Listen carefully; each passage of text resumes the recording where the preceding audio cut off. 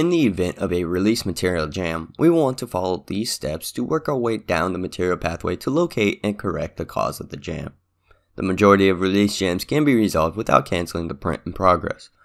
After each step in the troubleshooting workflow, resume the print to determine whether the jam has been remedied. If not, proceed to the next step.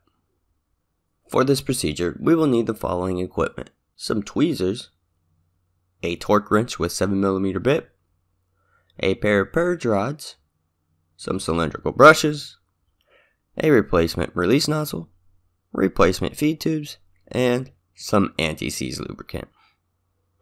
We would begin troubleshooting a ceramic material jam by unloading and then reloading the filament. You can reference our material loading video for more information. Once the filament has been unloaded and reloaded from the main screen, press resume to resume the print job. If the act of reloading the release material does not resolve the jam, proceed to the next step of clearing the material pathway using the purge rods. To clear the material pathway using the purge rods, we will first want to unload the ceramic filament. Then, we will use a large brass brush to clean the release nozzle and bottom face of the metal heat break. If necessary, use a paper towel to wipe away any remaining debris. This will prevent nozzle contamination upon reinstallation. Once the nozzle and heat break have been cleaned, we will remove the ceramic nozzle to prepare the print head for use of the purge rods. Once the nozzle has been removed, while pressing down on the rear release arm, use the long metal purge rod to carefully push all the way through the inlet tube, idler wheel assembly, outlet tube, and then out through the opening on the underside of the print head. If the rod successfully passes through the print head, we can then remove the purge rod and proceed. However, if the long purge rod is prevented by debris from passing all the way through the print head, we want to clean and clear the pathway from below by completing the following steps. Use the short purge rod to clear the release material pathway from below. Then, we will use one of the cylindrical brushes to clean the lower pathway. Once the entire material pathway has been cleared with the purge rods, we will reinstall the ceramic nozzle and reload the release material.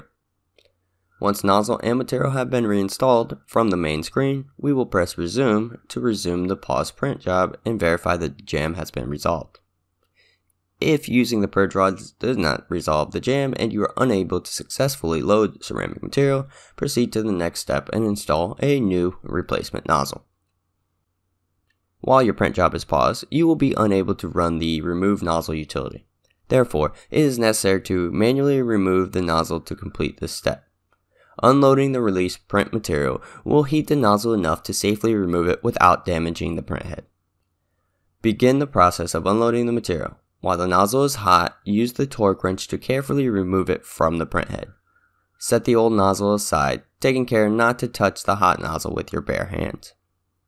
Next, carefully apply anti-seize lubricant to the new nozzle's threads and use the nozzle wrench to screw the release nozzle in approximately finger tight. Then, Unscrew it completely to distribute the anti-seize across the threads.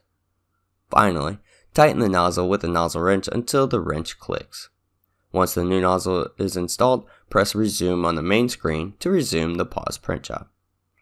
If replacing the nozzle effectively resolves the jam, complete the print as usual and discard your old nozzle. However, I would also like to note that using the purge rod can leave a layer of material residue on the inner surface of the lower feed tube, which can lead to additional print jams later. Therefore, you should always replace the lower feed tube after using the purge rod, whether immediately if the print has failed or cannot continue, or once the print has completed successfully.